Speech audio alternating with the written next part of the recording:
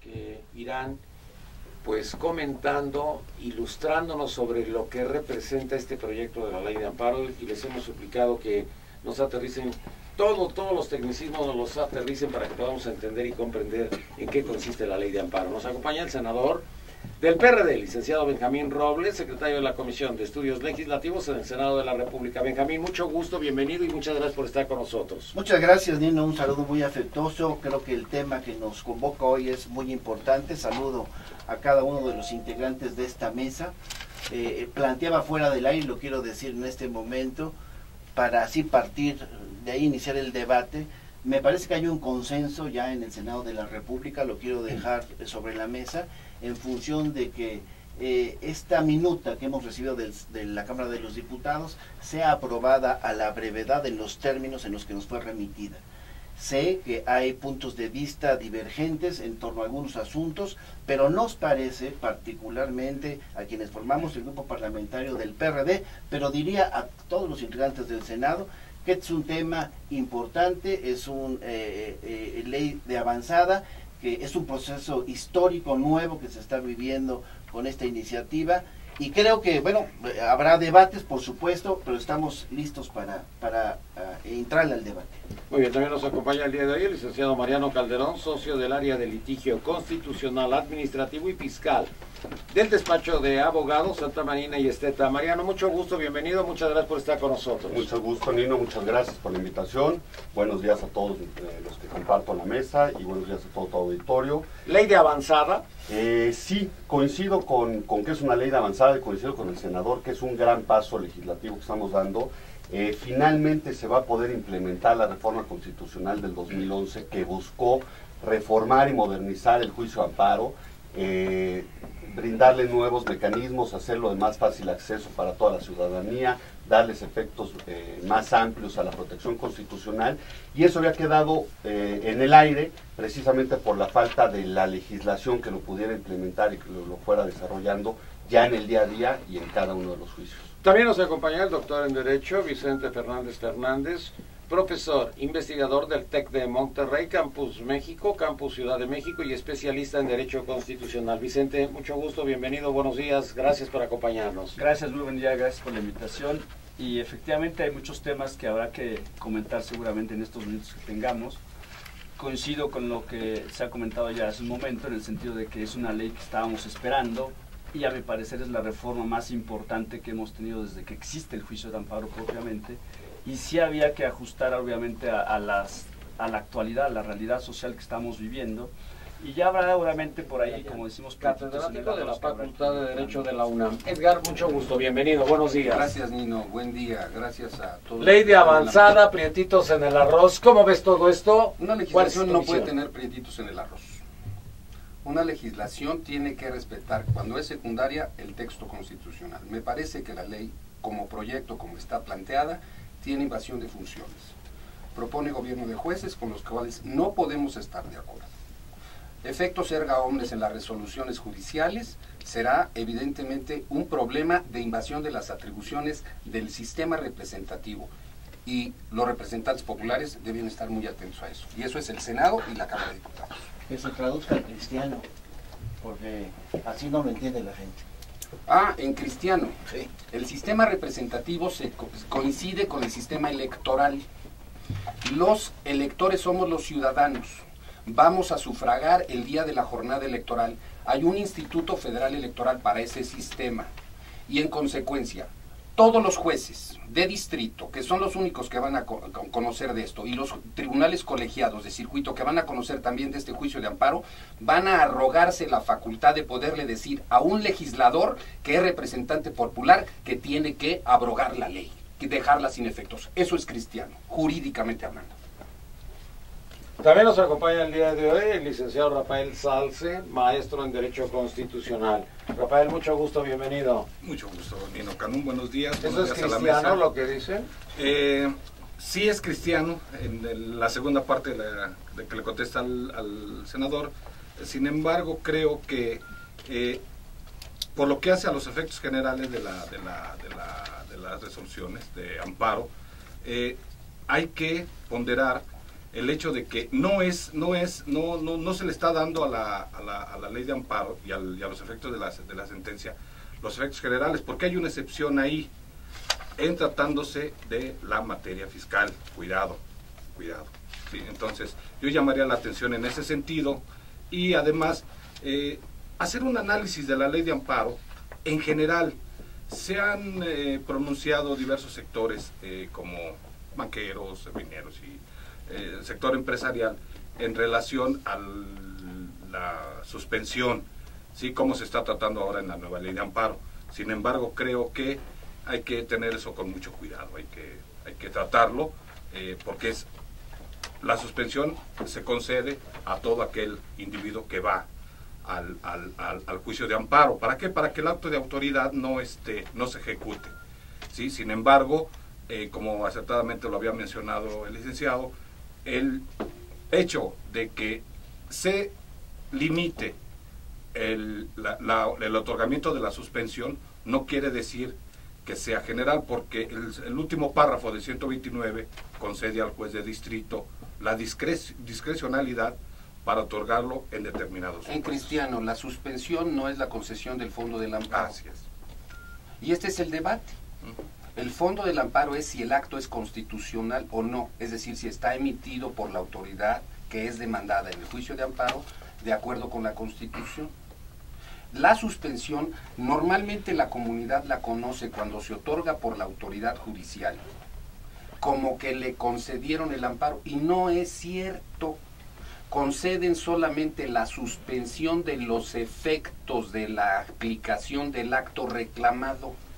Ese que está emitiendo la autoridad cancela la licencia, revoca la, revoca la concesión, la ¿Estás hablando de medios de comunicación? ¿Estás hablando de bancos? ¿Estás hablando de Estoy hablando de todo lo que hace la administración todo. pública.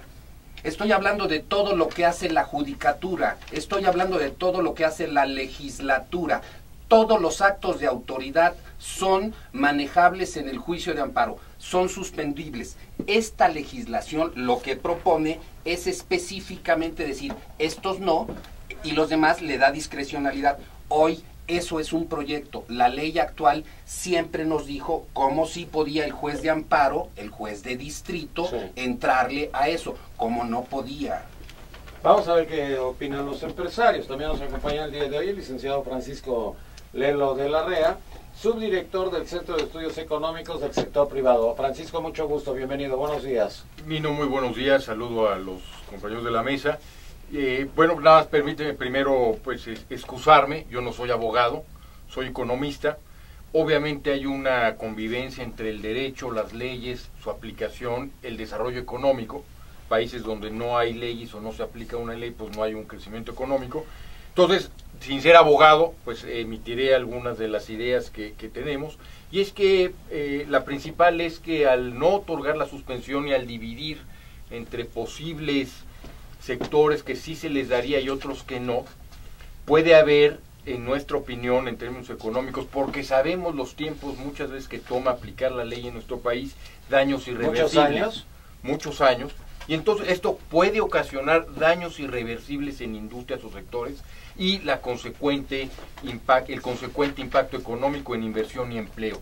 Esa es principalmente la preocupación eh, en términos económicos que una ley que no es general puede tener estos efectos. Pero reitero, yo no soy abogado, este es en nuestra idea el, el, efecto económico que posiblemente tenga. También nos acompaña el doctor Samuel González, catedrático de la Facultad de Derecho de la UNAM.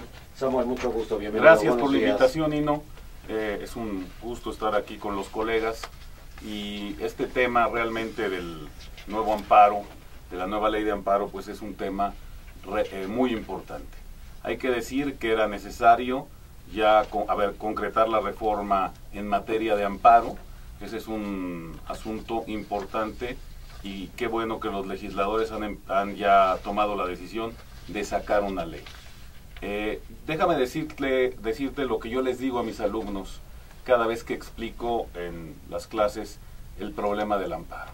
Les digo, nosotros tenemos allá en la Suprema Corte tres estatuas, los fundadores del amparo, el que lo salvó en la reforma de 1857 y eh, bueno, pues todo el mundo dice el amparo mexicano es una gran institución que le legamos al mundo, etcétera, etcétera, etcétera.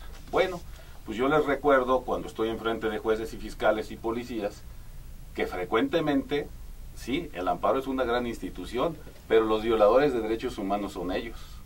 Porque lo que te dice una sentencia de amparo es que la autoridad violó los derechos humanos cuando te la conceden. Y eso significa que nuestras autoridades no están preparadas para, eh, para realizar pues lo, lo que el entramado constitucional de derechos y de derechos humanos sostiene. Es decir, es una paradoja, ¿no? Tuvimos que construir una, de las instituciones más fuertes en, la, en el antiguo sistema de amparo, con muchas limitaciones, para que el poder público eh, pudiera tener un gran espacio de autoritarismo, porque eso es lo que genera la, la versión anterior del juicio de amparo.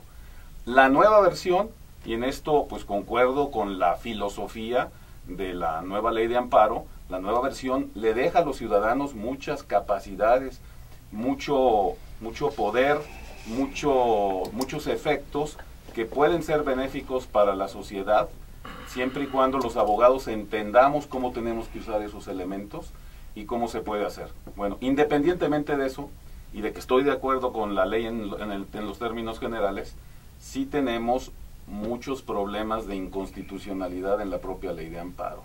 Y ese es el problema. A mí sí me preocupa que estemos sacando leyes materialmente inconstitucionales a sabiendas de todos los legisladores porque no hay este digamos una, una capacidad de entender realmente los procesos porque te sacan una ley de víctimas inconstitucional, todo el mundo dice que es inconstitucional y después de eso vamos a reformarla. Ahora la ley de amparo, pues decimos, pues sí, sí está muy bien que salga, pero tiene problemas de inconstitucionalidad. Ah, los que legisladores, los legisladores, no es personal. Yo quiero plantear algo. Creo que hay una coincidencia en la mesa sobre las bondades de esta minuta que hoy llegó al Senado y que, reitero, hay toda la voluntad, veo yo, en la Asamblea, en el Pleno, de aprobarla en lo inmediato.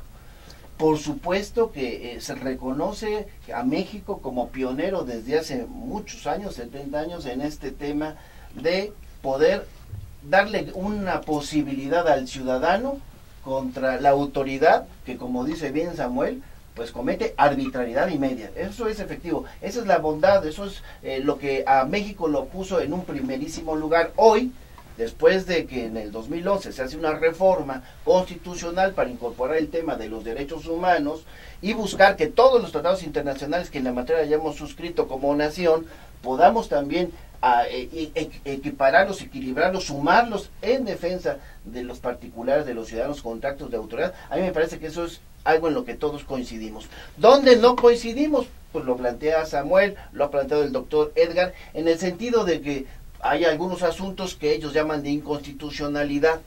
Yo no me disculpo, le digo con mucho respeto al compañero Francisco, representante aquí de la iniciativa privada. Yo también, yo soy economista. Pero a mí me queda muy claro que, que las bondades de este proyecto nos van a permitir dar un paso histórico y que si hay la necesidad, porque todas las leyes son perfectibles, de volver a revisar y sentarnos hay que hacerlo, pero lo que no podemos permitir es que el ciudadano esté indefenso y hoy pues, los derechos humanos es una materia fundamental y se ha incorporado. Edgar. Los ciudadanos no están indefensos, señor senador. La constitución está al uso de todos los ciudadanos, aunque el ciudadano, el habitante, el nacional, no lo sepa.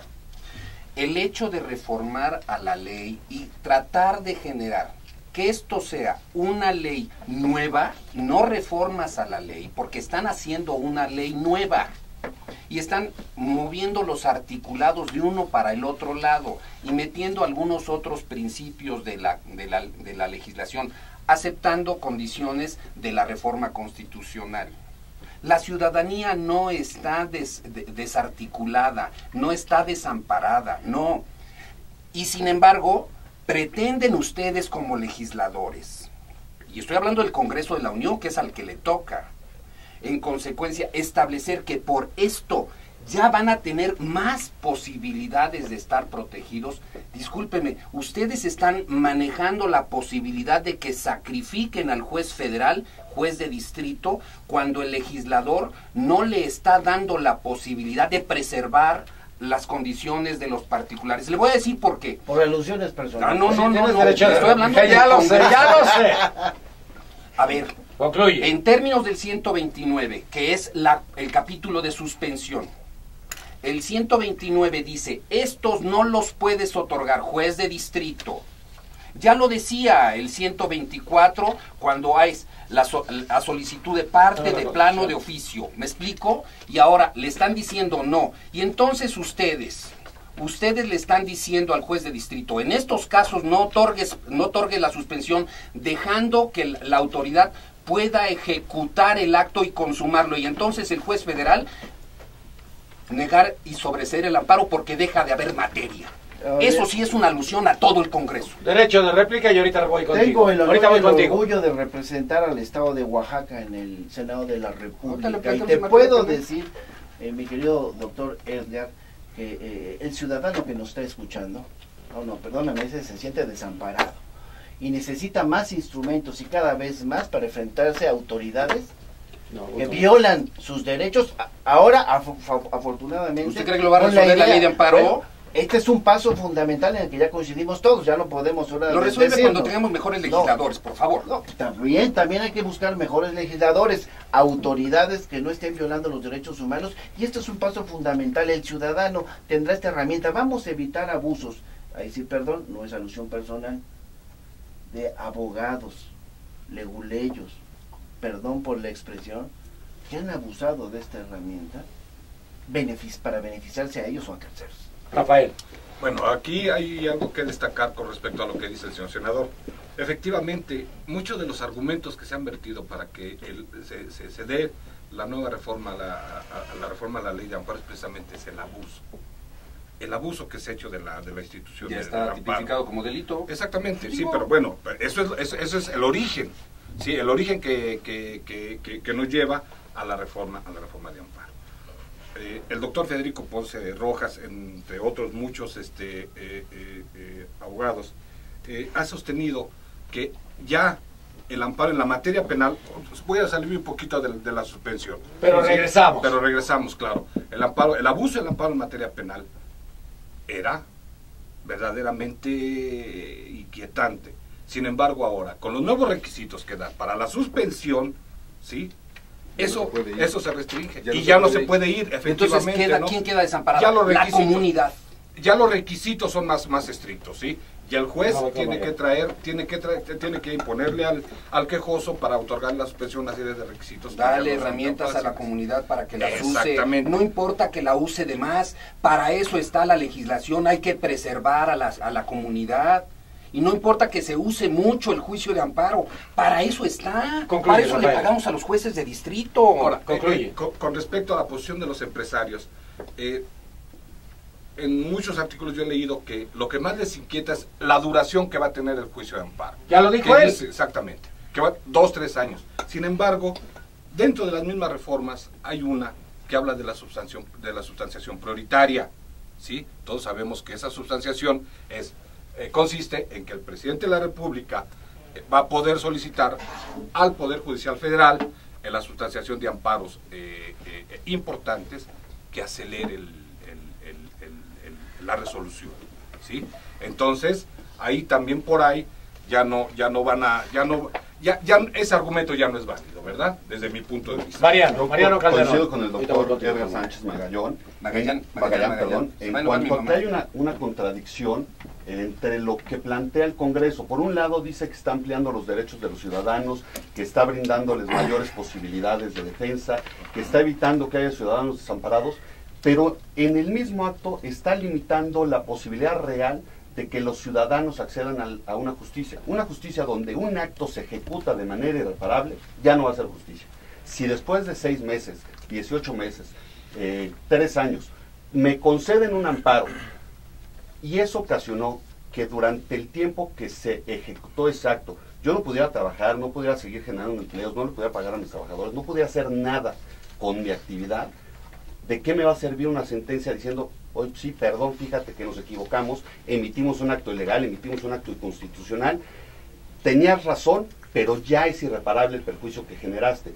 Creo que el argumento de que hubo un abuso por parte de ciertos sectores, de ciertas industrias o de los abogados, no es suficiente para generar eh, una restricción a los derechos, porque ese abuso se desconoce, más bien se plantea como un abuso, pero se desconoce que la gran mayoría de esos casos en donde se argumenta como un abuso, hay sentencias condenatorias, hay sentencias favorables donde un juez, un tribunal colegiado o la Suprema Corte de Justicia de la Nación sí dijo, tu gobierno federal, tu gobierno estatal o tu Congreso te equivocaste al emitir ese acto. Ese acto que tú creas que estaba muy bien es inconstitucional y por eso no podemos permitir que ese acto inconstitucional siga teniendo efectos. Entonces, hay un abuso al defenderse de actos continuamente inconstitucionales, yo creo que no. Samuel.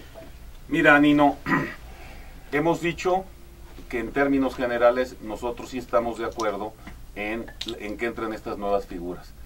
Pero ya empezando en las críticas, hay un gran problema. La Convención Americana de Derechos Humanos exige que el medio para reparar derechos humanos sea efectivo. Y ni la ley anterior ni esta van a generar esa efectividad. Hay una sentencia contra México de la Corte Interamericana de Derechos Humanos, que es la de Jorge Castañeda contra México. Ahí le pegaron a Jorge Castañeda en su derecho a ser ciudad- ca- candidato ciudadano. Sin embargo, sí declaró, sí declaró esa sentencia que México viola la Convención Americana de Derechos Humanos porque el juicio de amparo no tiene las características de ser efectivo. ¿Cuál es el problema? Que los jueces de amparo constatan de manera inmediata violaciones a sus garantías individuales y te dicen, no las puedo resolver. Yo he ido muchas veces con jueces que me dicen, estoy convencido que esa persona es inocente, pero mira, el elemento de amparo que tú planteaste, o que está planteado en la demanda, pues eh, resulta que eh, tengo que ver solamente este pedazo del auto de formal prisión. Oye, te estoy probando que es inocente y lo sigues dejando preso. Esa es una cosa, es una bestialidad. No, no, no, no, no, no, perdóname. que termine y Puedo dar dices casos, casos, casos, casos, Ahorita voy. casos, porque el juez de amparo, como juez de garantía, tiene la obligación, si está convencido de la, de, la, de la inocencia de una persona, de liberarlo. No se atreve a hacerlo, ¿por qué? Claro, ¿cómo voy a ir contra la autoridad? Ese es el problema, Sofisma. que la ley de amparo Sofisma. no, ver, no, estás no es un sofismo. No es un en sofismo. materia penal. Ahí Así te es. va en materia penal. El procesado, el acusado, tiene derecho a que el juez federal de primera instancia, que es en el biinstancial, es decir, el juzgado de distrito, le supla toda la deficiencia de la queja. No me digas a mí, Samuel, te vieron la cara. No, no es Porque verdad. nada más la no es partecita verdad de por una No, no es cierto, Perdóname, no es cierto, mira, Samuel. Y el mira Edgar, 133 nada más te voy a decir, nada más te te voy a decir contigo, Samuel. Por una razón, cuando metes un amparo contra el auto de formal prisión, no deja, no deja meter las pruebas siguientes. Y No, tiene la obligación pues, en pero no lo vigente. no lo hacen, Porque te da miedo impulsarlo. No estás no, así. Edgar, porque estás metido no, con Edgar. PGR. Te conozco desde que estabas en PGR, hombre. No, de Edgar, Dios, estás Samuel, equivocado, hombre. estás Y yo siempre he estado de este otro Te lado, puedo peleando por los, por los decenas, ciudadanos, hombre. decenas, por decenas de amparos hombre. entre los jueces de amparo. Yo, em- No yo lo de- en mi primer juicio en toda mi vida profesional Edgar. fue un amparo. Y me lo concedieron liso y llano. Contra un acto de autoridad. Qué bueno, Edgar. Luego, Qué bueno, luego, Edgar. Bueno, no, por favor, bueno, por favor, te puedo Y demostrar. tú le dices que a, la co- a tu comunidad de alumnos qué académico tan malo es, que apenas es una cosa así maravillosa. No es cierto, Samuel. Edgar, el- el tenemos tú mismo dijiste hace rato que el juicio de amparo está lleno de formalismos. Sí, es Quitemos un amparo la, técnico, sí. quitémosela, deja eso que tú no quieres hacer, deja eso que tú no quieres hacer, deja que el juez de amparo Ah, efectivamente o sea, juzgue, vas a hacer que el juez de amparo juzgue, en- entre como en garantice materia agraria, los como en derechos humanos. ¿Sí sabes de materia? Artículo ¿Sabes primero de la? Constitución, Que todas las autoridades que tienen la obligación demanda, de garantizar pruebas, los derechos recursos, humanos. no, Déjalos hombre. que juzguen, no les pongas limitaciones. Oiga, Es al revés, señor senador. Ver, Hay que abrirlo, Samuel, no cerrarlo. a ver, Edgar, no les entendimos nada. A ver, entonces, Hablen en, materia agraria- como Ahí te va. En materia agraria es si lo que propone planteas, Samuel. Él replica. Ok. ¿Estamos de En materia agraria, Igual. propone Samuel, se abra el juicio como, como, está, como está en materia agraria. El juez de distrito tiene que suplirle la demanda, la queja, es decir, conceptos de violación, Sí. las pruebas, los, los recursos. Es decir, se volvió parte el juez de distrito. Así es. No es cierto. Ah, en materia administrativa, estricto derecho. ¿Por qué? Por todos los efectos económicos que contiene en ese sentido. Y entonces el particular tiene la carga de la prueba. En materia penal, el procesado tiene el juez de, la obligación de suplirle. Y si tiene una duda, puede conceder. Y el juez penal es el que en último de los casos debió resolver el problema. Si, si no lo hace, el juez federal se lo puedes decir. Y entonces va para afuera. El caso Florence Cassés. No crucifiquemos a la corte. Hicieron las cosas bien. Así es. Quien no lo hizo bien fue la policía. Quien no lo hizo bien fue el juez de distrito que en último de los casos condenó. Y condenó contra constancia. Se llama plumazo en la vía judicial. Muy bien. Samuel, último comentario, voy contigo. No, voy contigo. Último Mira. comentario. Respuesta y con eso concluimos entre ustedes dos. Voy contigo inmediatamente. Mira, es eh, obvio, mi estimado Nino, que lo que requiere la Corte Interamericana de Derechos Humanos, fundado en la Convención Americana de Derechos Humanos, es que el juicio de amparo sea efectivo. Hay, contradiciendo a Edgar, miles de amparos para efectos cuando los jueces de amparo saben que la evaluación está materializada. ¿Por qué? Porque se han, han ido a recurrir a la figura del amparo para efectos para no darle al ciudadano la justicia que debe tener. Y ahí está un asunto, señor senador, eso hay que cambiarlo. Hay que prohibir el amparo para efectos, por ejemplo, en ciertas condiciones. Hay que darle al juez, hay que obligar al juez que tome su responsabilidad. Tenemos que tener un poder judicial que no sea miedoso, que le entre al toro, que determine realmente en el, en el Poder Judicial Federal las consecuencias. Pero tienen miedo por el proceso de la Yo carrera. Rafael, Yo, voy contigo, ahorita voy eh, contigo, ahorita voy el contigo. licenciado Rafael. Samuel está, está perdiendo de vista... eh, A ver, ¿qué está en el perdiendo de vista? En el planteamiento, en el planteamiento que hizo respecto del, del juicio de amparo en materia penal, lo que muy acertadamente dice el doctor, la suplencia del- de, del- del- de- de la queja. Ahí en la suplencia de la queja, en favor del... O sea, le dicen al juez, sí, no existen estos elementos, pero juez, tú resuelve, ¿sí? Ahí tendríamos que entrar a otra problemática. El juez de amparo tendría que ver que las resoluciones que se dictan en materia penal pueden tener vicios de forma y de fondo, ¿sí? Cuando son de fondos, amparo liso y llano. Cuando son de forma, amparo para efectos. Cuidado, hay que aclarar eso.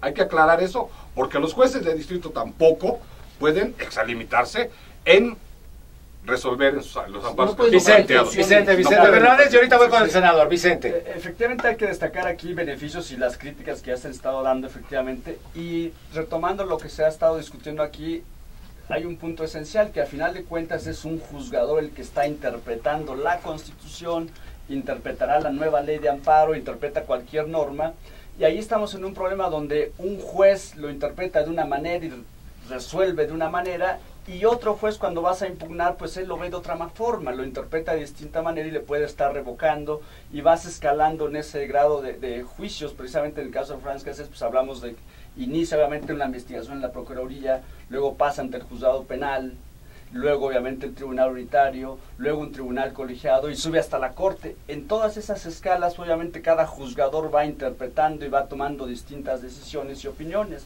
Obviamente eh, algunos se equivocan y otros no. Claro, el de arriba es el que decide quién se equivocó a final de cuentas. El tema aquí es ver si la nueva ley de amparo es de- nos da mayores beneficios o nos restringe por otro lado. Del lado de los beneficios, obviamente, y no solamente la ley de amparo, sino aterrizar lo que se hizo en la reforma constitucional, abrir la posibilidad de que el gobernado, el particular, cualquier persona, pueda impugnar actos que antes eran impensables, por ejemplo. Un ejemplo, si el gobierno federal decide emitir un decreto de desincorporación de un parque y hacerlo privado porque lo va a hacer un, eh, un supermercado, en el pasado no procedía el juicio de amparo por cualquier ciudadano.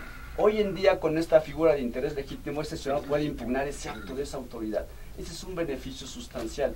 Otro es que se abre la posibilidad de impugnar actos de particulares. Ya no hablamos solamente del amparo contra actos de autoridades, en estricto sentido, actos del gobierno, sino actos de particulares y como dice la ley, siempre y cuando esos actos tengan que ver o sus actos estén regulados en una norma, en una ley, ¿no? Y ahí se va a abrir muchísimo. Toda la parte de concesionarios, por ejemplo, pues están regulados en una norma. Sus actos están en una norma. Todos esos actos se van a impugnar o se van a poder impugnar en juicios de amparo. Antes era impensable, precisamente. Y ya nada más para cerrar el tema de la suspensión, yo diría que la suspensión siempre ha estado restrictiva, ¿no? La suspensión nunca ha sido absoluta, es decir, no siempre en un juicio de amparo se otorgaba la suspensión. La ley anterior, la ley vigente aún, tiene una lista de actos que no debiera suspenderse y el punto ahí es, no debe otorgarse la suspensión cuando de otorgarse se afecta a la sociedad, ¿no? Siempre que se pone en la balanza el interés de un sujeto, que es el quejoso, el que promueve el amparo, y el de la sociedad, prevalece el de la sociedad. Claro. Y el juez debe tomar esa decisión. Lo que se hizo ahora es aumentar la lista de casos en los cuales la ley, el legislador presume que en esos casos se afecta a la sociedad. Y a mi parecer, esta restricción para todo el tema de, de, de qué casos no procede, pues va con dedicatoria, ¿no? pensando en la reforma en materia de telecomunicaciones y que habría amparos que obstaculizarían cualquier cosa, se está restringiendo y se está afectando a muchos otros pensando en un sujeto en específico. Un ejemplo breve, porque voy con Muy breve. Eh, breve. Con respecto al interés legítimo, eh, por ahí eh, leí en una, en una publicación que este lo ejemplificaban eh, para la gente que, eh, por ejemplo, si el Estado quería poner una refinería en un, en un determinado predio y algún vecino que vivía por ahí estimaba que esa, la- la- esa decisión de la autoridad le afectaba a él en su vivienda, en el medio ambiente, él podría acudir al, al amparo, ¿sí? no necesariamente la persona que, que- que- que vivía en el predio que estaba expropiando para poner Para evitar los machetazos en el suelo y revocar la, la, la, este, la construcción de un aeropuerto alterno. ¿no? Así- o otro ejemplo, ¿no? Está más claro, ese quedó muy Clarísimo, claro. Para evitar eso y que el gobierno eche, eche para atrás. Así es. Esa es parte de las bondades ver, que tiene ¿No? esta, esta minuta que eh, vamos a terminar de revisar en el Senado y, y seguramente aprobarla. Mira, yo con el respeto a, mis compañeros aquí de la mesa, quiero dirigirme, Nino, al auditorio. Y de paso poner sobre la mesa pues, temas para el debate. Porque eh, siento, y lo digo con respeto, que eh, muchos de los comentarios que hemos escuchado son demasiado técnicos. Eh, y que yo creo que es importante que la gente sepa hacia dónde vamos. Porque por eso planteo, a mí me parece, eh, eh, y lo comparto con muchos senadores de la República, que eh, los juicios de amparo, por lo que decía un poco hace un rato Francisco, ya no podrán ser alargados de manera indefinida, que era un tema que había se había puesto en debate permanente. Ya no podrán ser alargados indefinidamente y yo creo que ahora, por eso decimos en el Senado, va a ser un procedimiento más ágil, aunque entiendo la postura que exter- externó hace un rato. Y fundamentalmente, a ver, una de las cuestiones, ya lo decía Vicente hace un rato, una de las cuestiones más novedosas y que está causando ruido es que esta eh, nueva ley es eh, eh, se refiere al hecho de que en materia de bienes de la nación, de telecomunicaciones, de energía, casinos, los actos reclamados no serán suspendidos y ese es un tema pues que ha contro- que ha traído mucha controversia y hay un gran debate Sobre todo en el lo ha asunto. declarado la iniciativa privada. Pero a mí me parece, y sí lo quiero dejar, y con eso concluyo esta intervención, que, que esta medida para mí no deja en estado de indefensión tampoco a los concesionarios, a los permisionarios. ¿no? Eh, yo creo que, que por eso es muy importante el paso que vamos a dar en el Senado y que eh, es importante hacerlo a la brevedad posible. A ver, Francisco, iniciativa Sí. privada. Digo, un poco la preocupación eh, pues radica en que puede ser muy buenos deseos. Tenemos el ejemplo claro de que hubo una reforma importante en materia de, quiebras, es de- no recuerdo el nombre técnico, pero es una ley importante y se ha violado consistentemente la ley en el caso de Mexicana. Pero se llamaba ley de- A ver, Entonces, no el ha ejemplo habido- de Mexicana. El ejemplo de Mexicana es que hay un procedimiento que establece plazos claros. Llegó la autoridad en contravención o incumpliendo la ley y alargó el plazo, digo, aparentemente indefinidamente. Esto ha retrasado una inversión en el sector, la creación de empleos, están aumentando las deudas. Entonces, ya era una ley aprobada y en vigor y se está violando. Entonces, yo coincido en que hay que reformar las leyes, pero ahora lo importante es que realmente bajen, se aplique y se genere un sistema que sea expedito. Nos preocupa, digamos que la sustanciación prioritaria, porque si va a ser un acto del Ejecutivo, pues se está politizando la justicia. Entonces, en ese sentido nos, nos preocupa. Obviamente hay bondades en la ley, se debe de hacer más expedito, pero que se generen también los mecanismos. Los legisladores no son responsables de, aprueban la ley, pero ¿cómo vamos a realmente bajar esto para que ya haya una justicia más rápida? Mariano. Porque hay un, un embudo natural que no depende de los legisladores, no depende de la ley, la ley no lo puede solucionar.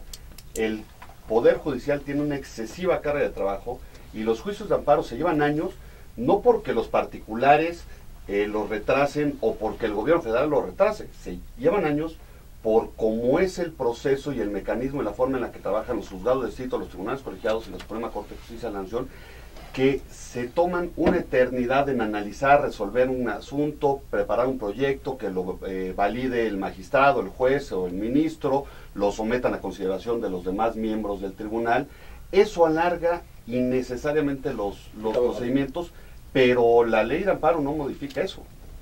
Edgar. Hay plazo No. para resoluciones. No, es cierto. ¿Por qué no es cierto? No se alargan en función de las resoluciones. El, el órgano de administración de la Corte, se llama Consejo de la Judicatura Federal, ha emitido acuerdos muy claros donde hay centros de resoluciones de, de- de sentencias de amparo. Es decir, hay jueces de distrito solo dedicados con un cuerpo de administrativo a resolver sentencias de amparo. Pero eso sí Por el sigue- rezago, por Ah, Eso claro, se siguen sí. No, dos, no, no, no, no. Pero tienen que ir claramente de acuerdo con uno. Y esto está resolviendo. Y para el efecto de no tener jueces embosados, lo sacaron a circuitos diferentes. ¿Me explico?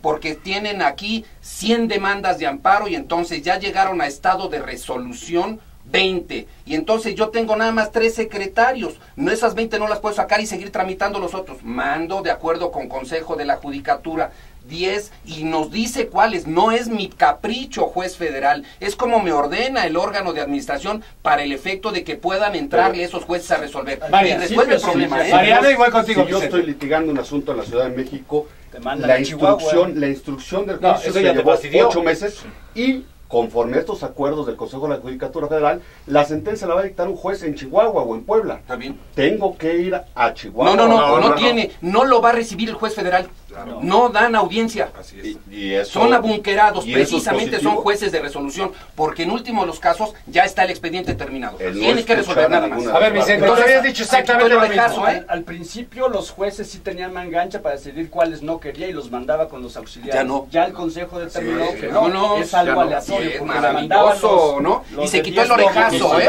Lo que quieren seguir haciendo es que lo- el juez reciba el orejazo para el efecto de decir, por aquí juez, no, no, no, no, no, el, no, no, el rezago no se ha resuelto. El tema del rezago no se ha resuelto nunca con crear más jueces. Siempre la realidad te va rebasando. Exacto. Siempre va a haber más juicios, más juicios. Entonces Siempre una reforma rezago. procesal de fondo que haga los juicios más ágiles. Y los juicios sí son tardados, uno sí por la carga de trabajo, pero también es cierto que en muchos casos las partes, como decimos cotidianamente, van chicaneando los asuntos. ¿A quién le interesa? Tiene una suspensión, le interesa que la suspensión le dure lo más que se pueda. Y alarga tres, cuatro años el juicio, tiene suspensión. Eso provoca... Eso, es eso no es responsabilidad del juez. No, No. es de las partes también. Y Mira, Nino, la Constitución dice en el artículo 20 que ningún juez podrá tratar asuntos eh, con cualquiera de las partes sin estar presente la otra. Solamente en materia No, penal. En materia pero- Solamente en penal y materia penal. nuevo Y proceso sistema. Y eso en el nuevo el sistema, nuevo sistema procesal Nada más. pero solamente Nada en materia más- penal. ¿eh? Sí, sí. Y- Y Samuel Nada pretende más- generalizar a las otras materias. Nada no es más cierto. que, perdóname Edgar, No. Hace unos meses hubo una reunión aquí en México de las Cortes Supremas de Justicia y de Tribunales Internacionales. Y lo que tú justamente te quejabas hace un momento, el hecho de que en México se acostumbrara el alegato de oídas, fue la, el elemento de más discordancia, Lo que más llamó la lo que atención. más llamó la atención. Entonces, perdón que te diga, Edgar, el expediente en frío no se puede eh, analizar. Todo el mundo tiene derecho, según el artículo 8 de la Convención Americana de Derechos Humanos, a ser oído, oído en una audiencia pública. Ah, en, en audiencia. En audiencia. En audiencia. No en la oficina de No en la oficina del En juez. eso estamos de acuerdo y por eso No, y tú dije- lo que quieres es que te abra el juez No, la, la puerta estoy leyendo para el decirle, artículo- oye, este es mi Te criterio. estoy no. leyendo el, ar- te Una estoy por hablando una. del artículo 20 constitucional, Edgar, que debe extenderse Cuando lo pusimos en la Constitución, en la reforma del 2008, porque yo estaba ahí, esa es una frase mía, Edgar, para que lo sepas, de la Constitución, es mía, yo la puse, ¿ok? En la O sea, ya eres Constitución- legislador, No, maestro. yo ayudé a los señores senadores para que la pusieran, ¿ok? Y a los diputados en ese siempre momento. se necesita ayuda de gente como usted. Pues debíamos tener Claro. un cuerpo de Entonces- asesores a todo, a todo el entonces, Congreso de la legislación vinculado está, a la, a la ahí está el asunto. Punto. Deberíamos ya respetar y hacer respetar por todos, empezando por los ministros de la Corte, ese asunto. Pero no se puede porque llegan de un lado, llegan del otro lado. Deben abrir audiencias públicas. Debe generarse un proceso en el cual la- los ciudadanos aportamos públicamente, sea la defensa, sea la acusación o en cualquier otra materia, en un sistema en el cual ya se prohíba el alegato de oídos fuera de la eh, del- del proceso. Y que sobre las ausencias en la nueva ley de amparo no se mete con el tema de la justicia oral, que es más transparente. Bueno, sí lo toca, licenciado. Sí toca juicios. Claro, Pero toca, ni toca de toca. vinculación. Claro, Cuidado. claro. Toda la parte toca. probatoria va a seguir siendo tradicionalmente. Ah, sí, el claro. problema, Nino, Claro, el pero sí problema lo que ahí lleva más tiempo. es Sí, sí, pero ya. el juez ya- ya tiene la, nueva ley de obligación amparo de tramitar el Juicio. No, de. Cerró Sí, sí, para sí, que se, se emitiera la resolución. Tiene un plazo en términos de la ley para dictar la resolución. ¿Qué Lo hace con lo que tiene antes? ¿La dicta esa dentro de los términos y viola las condiciones de, de los anteriores? No, Nino. Ahí tenemos que ser muy cuidadosos. No podemos crucificar de esa manera. Y no podemos, en último de los casos, decirle al juez, por favor, recíbenos en audiencia pública para que te mostremos fuera de proceso estas cosas y entonces que esté también el representante del fisco federal, como quiere Samuel, y que venga aquí. Así es Sí, en porque- todos los países No, no, del no, no, mundo, no, no, Edgar, no, por no, no, favor, no, no, no, ve, no, no. Aquí hay soberanía, aquí hay del soberanía, aquí hay soberanía y precisamente por eso decidimos cómo hacer y espero que los legisladores asuman la soberanía nacional pública. y cumplan con la Constitución. lo exige la Convención Americana de Derechos iniciar porque Humanos. nadie te entendió. A ver, ¿qué estabas diciendo? Porque... Que en todos los países del mundo hay audiencias públicas, en Francia, en Italia, en España, en Estados Unidos, donde las partes discuten y los jueces obtienen la información no solamente de los papeles, sino de los alegatos. Ese es un elemento Pero en juicio- En juicio, ¿quién está hablando de fuera de Pues juicio? estamos hablando del alegato de oídas, No, que pues tú que- en últimos casos pretendes que se abra también audiencia diciendo- pública. No, Por favor, El alegato de oídas no puede ser. Lo que se trata es de que se cumpla lo que te estoy diciendo de la Constitución en el artículo 20 y que se extienda a todas las materias. Que se prohíba que los señores ministros reciban a Perengano, Sutano, Mengano, a Edgar Sánchez Magallán y a todos los demás. Que sea público. Ahorita todos tenemos que ir a pedir audiencias a los ministros porque no hay otra manera. Que se hagan audiencias Jamás públicas. he ido a visitar a un ministro de la Corte.